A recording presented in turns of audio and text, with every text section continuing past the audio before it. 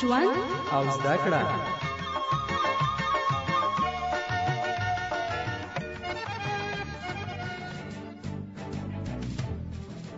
دا باندې غږ د آبادی غږ خبرونه درنو اوریدونکو السلام علیکم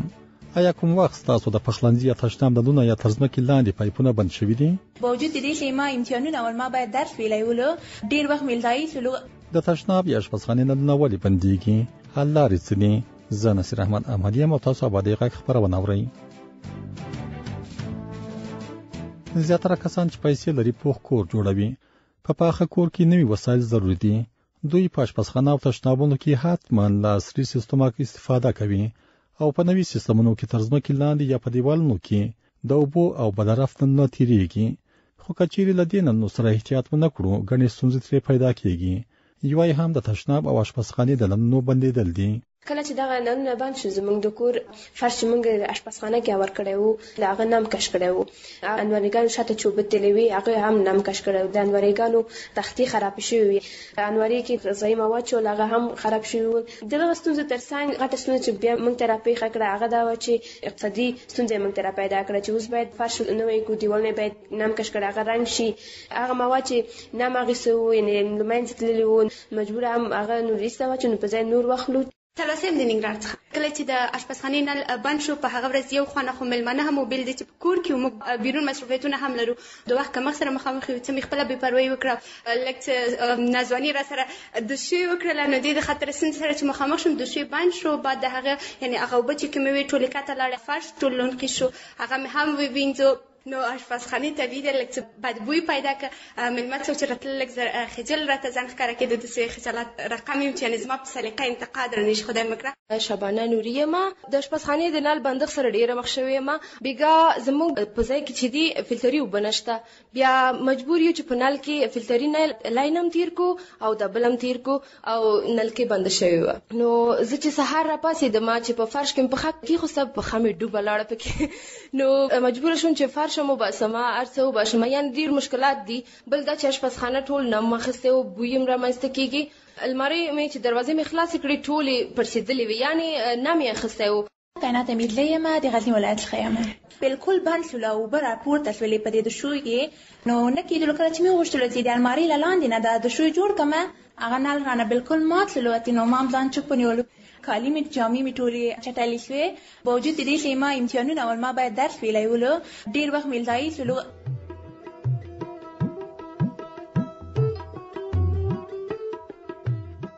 په خامو کورونو کې پخلنځی او تشناب هم ساده وي ډېرې خبرې نه لري، خو پاخه کورونه په داسې بڼه جوړ شوي دي چې که د تشنابونو یا پخلنځي نل بند شي نو ډېر وخت په اسانه نه خلاصېږي. کله کله د کور خاوند مجبوره کېږي چې سمنټ یا کاشیانې ماتې کړي او تر ځمکې لاندې بند شوی پایپ خلاص کړي چې دا خپله لویه ستونزه ده. له بل لوري په بند شوي پایپ کې اوبه راټولېږي او د اوبو دا راټولېدا بد بوی پیدا کوي. خو ولې کله کله د تشناب یا اشپزخانې نل نه بندېږي؟ ظرف نه چې مینځل او اضافه مواد به یې نه ایسته کول جالۍ به یې نه ایښودله. کوم جالۍ چې موږ د ظرفو مینځلو لپاره استفاده کوو هغه د وخت د مرور زمان سره له منځه ځي. د هغه سمک مواد هم په نل کې بندېږي. د هغه تر څنګ کوم سپنج چې موږ استفاده کوو د لوښو مینځلو لپاره هغه هم د مرور زمان له منځه ځي. دغه علتونه وو چې نل د اشپزخانې رانه بند شو. زما نوم قدامه معاد ماسودی دی زما مسلک نلدوانی ده تقریبا دولس کاله کیږی چی همدغه نلدوانی برخه کی کار کوم ځینو بلاکونو او کورونو ته چی د نل خلاصول په خاطر ځم داسی شیان د نله راباسم حیران شم دا خلک داسی شیان اچوی د نلونو څخه ما حتی پامپر راوباسلی دی ویښتان د ډوډی میدګی، شامه، ګازر نل کې پانده وه نو همدا شیان د نلونو د بندښت سبب کیژی علت یې همدا وه. بې مسولیتي مې وکړله په دې برخه کې چې هر څه لږه عجله لرم چې باید کار زر زر خلاص شي. کله چې ډوډۍ خوړل کېږي دا معمولا په ظرفونو کې ځینې د ډوډۍ پاتې شوني یا مثلا وریژې یا ترکاري ځینې ذرې پاتې کېږي هغه به مې نه لرې کول ظرفونه به مې هغې سره دوشیو کې کېښودل نو کله چې به مې دا ظرفونه اینځل ذرات به تلل د وخت په تېرېدو سره لږ ذره جمع شو او دوشیو بند کړ. ساره سلیمی یم د لغمان ولایت څخه علت خو د اشپزخانې د نلونو د بندښت دا و چې کله چې لوښي وینځل شي نو غوړي اوبه چې ورشي د هغې سبب ګرځي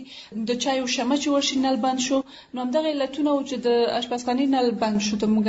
تشناب خو نورمال د کله چې کاغذ ورکې څوک واچي چې شور واچي او یم د د سر ویښتان چې بعضې خلک ګومنځ کې نو عمل ته ورشي د تشناب د نلول د بندېدلو علت همدا کاغذ او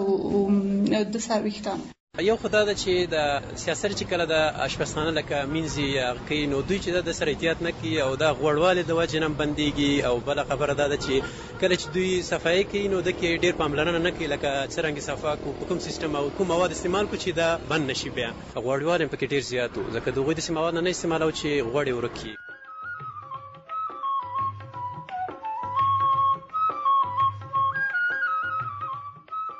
درنو اوریدونکو تاسو آبادی غږ خبرونه اورئ چې د افغانستان په تعلیمي وسه کې جوړیږي که زموږ د تعلیمي خبرونو په اړه نظر یا وړاندیز لرئ په 00 240 یا 5001 شمیره زموږ د همکارانو سره شریک کړئ که د تشناب یا پخلنځي پایپونه بند شي نو ګڼ مشکلات پیدا کوي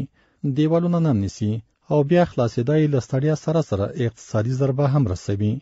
ځکه مجبور چې هماغه برخه ساحه واړوو او د نل د خلاصېدو لپاره نلوال ته پیسې ورکړو خو څه وکړو چې نلونه بند نه شي. تیزاب هم شته تیزاب هم استعمالوی شي او بیا یو بل مواد راغلی د کاشتک په نامه ده داسې پوډر غوندې ده هغه ډیر ښه کار کوي او د هغه کوالټي هم ښه ده څه خطر هم نه لري لکه صحت لپاره هم څه مشکل نه لري او بس لاسونو لپاره هم څه مشکل نه لري لکه لاس هم نه خرابوي. نو ده پاره تیزاب هم شته، کاشټیک هم شته او نور څو یو بعضې نور موادونه هم شته چې د صفایې د پاره استعمالیږي. کاشټیک زه ډېر استعمالوم او فنر هم شته. خو ټول نه ښه هماغه کاشټیک ده چې ښه صفایي هم کوي او بل غوړوالی هم له منځه وړي. اقتصادي لاره دا ده کله چې دوی اشپزخانه جوړوي نو دوی باید کفشور ورته وایي داسې کفشور واخلي چې هغه سیفون لري دا شیان لاندې نه پرېږدي چې لاړ شي او بله دا ده چې کله دوی صفایې کوي نو دوی دې دا غوړوالې شیان داسې چې مینځي نو دا لوښي شیان د پاره چې کله مینځي باید د له شا نه جوش وي بور خوشي دا جوش اوبه دي چې دا دا غوړوالی له منځه وړي. په لم جوش اوبور کې څو څو ورې ور واچولې تیزاب هم ورته ور واچول نو د اشپزخاني نل واز شو او د تشتاب د نل د وازیدولو د پاره هغه موږ کوم کوشش چې موږ کوو هغه مو کوو خو خلاص نه شو نو بیا د هغې د پاره هم نل دوان راوستی کله مو چې نل دوان راوستی د تشناب د اورو د صفا کولو د پاره هغه ورکی د فنر یعنی یو سپنی میلا هغه ورکی ښکته کړله وې خوځوله کله چې وخوځله هغه ډنډ اوبه چې کومې وې هغه ټولې ښکته شوې لاړې کله چې د نلونو د بندښت سره مخ شو نو دا خو بیا د احتیاط هغه مونږ ته چې پس د دینه باید موږ احتیاط وکړو چې دا دوباره بند نشي نو د دې لپاره چې آینده کې ورنه مخنیوي وشي موږ خپل ما د اشپزخاني توشوي تمام جالي واخیسته چې هغه غوړي او باو یا هم د شمه چې ورزي هغه ونیسي او وب پاکې لشي ان دوباره نل بند نشي د اشنا لپاره هم داسې یو کثافت دانی مونږ کې خود لشه د اضافي شاین هغه کې واچول شي او فرشي جالي مو خسته چې هغه دوباره د نلون د بندښت لامل نشي ځکه ماشومان خو دومره احتیاط نه کوي بس هرڅه چې ورخطا کی نو هغه نلونه بندېږي نو ماشومان ته هم لارښوونه وکړله چې باید کثافت داني چې ایښي ده د اضافي شیان په هغې کې ور واچوي چې ترڅو نلونه بیا بند نه شي زه چې ځینو کورونو یا بلاکونو هم ځینو دفترونو ته ځم نو د نل د خلاصولو په خاطر د مختلفو لارو نه کار اخلم ځکه نل بندېدو ته ګورم چې څه مشکل لري مثلا که نل کې ویښتان بند دي یا مثلا پلاستیک یا سخت شی وي لکه یو ورځ یو نل کې ګازره وه بیا فنر نه مې کار واخیستی خو که پوه شم چې چا شمع یا غوړ نیولی وي یا منګ یې وهلی وي بیا له مختلفو تیزابونو لکه تور تیزاب یا زوړ رنګ تیزاب کار اخلم څو ورځې مخکې د تپ کې د پیپسي قوطی غورځولی و بیا مې چې کاشته کې واچول نو د پیپسي قوطي اوبه اوبه شو نل خلاص شو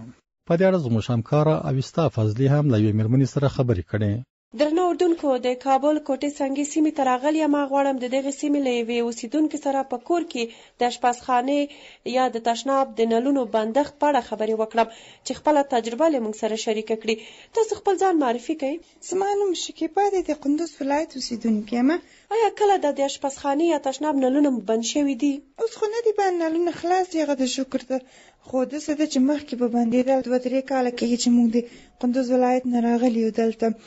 او دلته موږ د نل سره دونه بلد نه وو موږ به دا غوړې اوبه دا د ډوډۍ ټوټې او دا وریژې هر شی نلکه اچول اوبه مو ورپسې اچولې د تشناب نل مو هم بند شوی و تشناب کې به مو پمپر اچولو کاغذ به مو اچولو ویښتان به مو اچولو اوبه مو ورپسې خوشې کړې موږ به ویل چې دا به نه بندېږي بالاخره داسې شو چې هیڅ نه خلاصېدو بیخي یو بد بوی کولو یو میلمه به چې راغلو د کور نه نیولو او دغه بوی به یې احساسولو بیخي به زه شرمنده وم کله چې د د اشپزخانې یا تشناب نلونه مو بند وو بیا مو څه وکړل د خلاصولو په خاطر یې. یو دوه ځله مونږ خپل یو لرګي باندې کوشش وکړو خلاص مو کړو خلاص شول خو بالاخره داسې شو چې نه خلاصېدو یو دوه هفتې داسې پوزې ته راوستو نو بیخی د تشتو نه مو استفاده کوله او لوی امنه وه نو ډیر مشکلات مو درلودل بیا یو هغه مو راوستی او نل دوان هغه نل راته خلاص کړو او د تشناب نه یو دانه پمپر راوایستو دغسې ویښتانو کاغذونو دغه شیان نل بندوي دغه یې راوایستل اشپزخانې نل نه همداسې تکې تور خټې دغه شیان ډوډۍ ټوټې او دغه شیان یې راوایستل اوس خو موږ داسې کوو چې د اشپزخانې نل لاندې مو یو دانه جاله ایښې ده د ډوډیو ټوټې او ترکاریو ټوټې دغه شیان هغې کې ټول شي کثافه داني کې اچوم او د دې ترڅنګ بله کثافه داني مو د کاغذ شیانو لپاره ایښې ده او تشناب کې مونږ کثافه داني ایښې ده هغې کې دا پامپر او کاغذونه ویښتان هغې کې اچوم ماشومان ته مو ویلي دي چې تاسو باید هر شي چې هلته کاغذ او دغه شیان کثافه داني کې واچوي موږ هم اوس ډېر ورسره احتیاط کوو ما هفته کې یو ځل یا دوه ځلې ځو دوکان ته یو تیزاب یا مغه اخلو نل کې اچوو تشناب کې ما اچوو یو بل شی د کاشتیک ورته وایي چې هماغه راوړو هغه ما اچوو نلونه خلاصوي کله چې موږ ظرفونه مینځو نو بیا جوش اوبه هم ورباندې اچوم همدغه کارونه کوو ورځ تر بلې او ماشومان هم احتیاط کوي موږ هم احتیاط کوو نلونه مو اوس خلاص دي او دغه مشکلات نه بېغمه یو.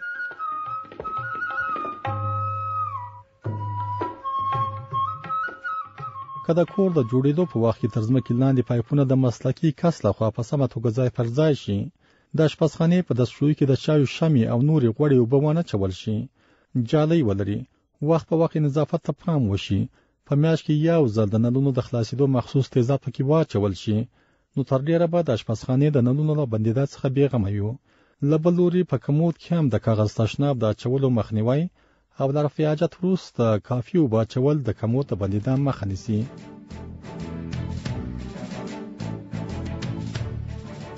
درنو اوریدونکو